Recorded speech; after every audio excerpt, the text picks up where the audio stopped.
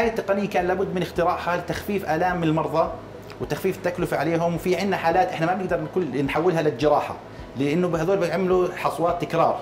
تمام؟ أكثر من مرة بكون أول حصة. ما بقدر أنا كل ست شهور نعمل عملية جراحية. عمليات. نعم.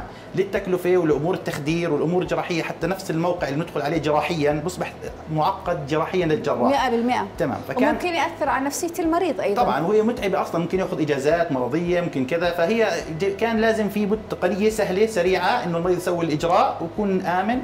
ويخرج بسلام بسرعة اذا. بناء على حديثك بستشف بأنه هذا الإجراء بسيط. نعم. ما في مبيت في المستشفى؟ الإجراء يتم خلال أقل من ساعة. المريض بيتم التنسيق مع طبيب جراحة المسالك إنه هاي الحالة نحولها لتفتيت حصى. جميل. آه، يتم اختيارها حسب موقع الحصوه حجمها كثافتها عدة عوامل. آه، يتم اختيارها بعناية لنحصل على نسبة نجاح عالية. نسبة نجاح بمعظم حالات التفتيت أكثر من 85 إلى 90% رائع. نعم. في تخدير ولا مسكنات؟ آه، معظم الحالات يتم إعطاء تخدير. ممكن مسكن بسيط.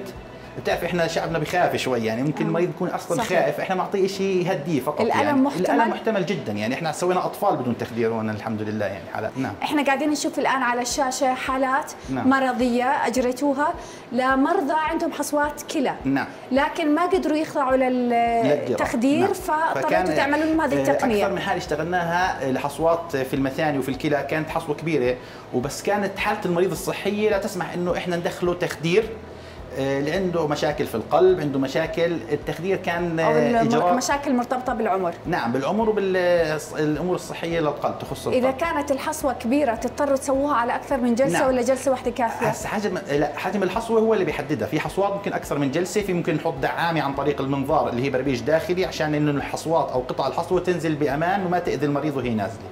ففي أكثر من حاله اشتغلناها لمريض كان عمره 90 سنة.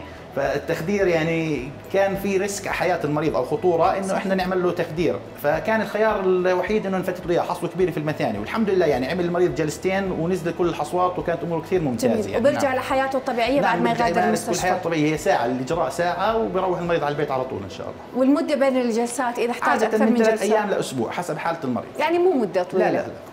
اذا ايمن شو رايك نوجه نصيحة طبية أخيرة للمشاهدين؟ نثقفهم صحيا بأنه الحصوات الكلى ممكن نحلها بطرق غير جراحية أو نعم. حتى طبيعية مو شرط افضل نصيحة للي بيكون حصوات أو ما بيكون شرب السوائل. شرب السوائل بكميات كافية تساعد الكليه إنها تطرد هاي الأملاح اللي بتتكون داخل الكليه واللي بتأذي جسم الإنسان والمتابعة. يعني لما يكون في مريض عنده تاريخ مرضي في هاي الحصوات يجب المتابعة. هاي أكثر نصيحة أنا بحكيها للمرضى اللي بيتعاملوا معي يعني خلال 20 سنة في هذا المجال إنه المريض. يجب يتابع مع الطبيب المعالج ومع المستشفى المختص. ما يهمل نفسه. ما يهمل نفسه لأنه كل ما هو صبر أو ترك الأمور الحصوه بتكبر بتأذي أكثر وبصير التعامل معها أصعب. المتابعة مع المريض ومع الطبيب المعالج وشرب السوائل بكميات كبيرة. شكرا لكم الله يعطيكم ألف عافية.